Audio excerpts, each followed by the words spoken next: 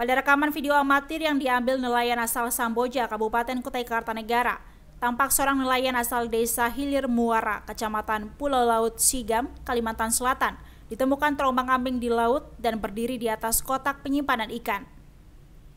Nelayan bernama Hamade ini mengaku sudah lima hari berada di laut setelah kapalnya tenggelam karena air laut yang masuk melalui buritan kapal kayu miliknya. Sebelum kapal tenggelam, nelayan berusia 65 tahun ini langsung masuk ke kotak penyimpanan ikan dan bisa bertahan hidup. Sebelumnya Hamade berniat mencari ikan di perairan Tanjung Pancing, Kalimantan Selatan. Namun nahas niatannya mencari ikan justru berakibat kapalnya tenggelam hingga hanyut terbawa arus laut ke perairan Kalimantan Timur.